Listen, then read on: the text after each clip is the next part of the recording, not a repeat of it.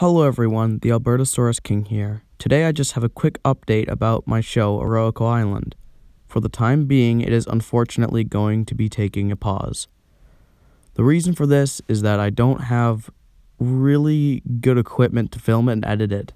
And I'm, I'm just kind of looking and waiting. If you guys have any suggestions, I'd really appreciate it.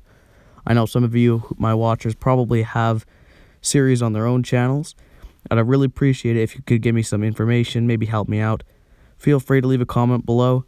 But yeah, for the time being, the show's going to be taking a break. I may do other uploads. I'm still going to be very active in the community. So yeah, thank you guys so much for watching. Albertosaurus King, signing out.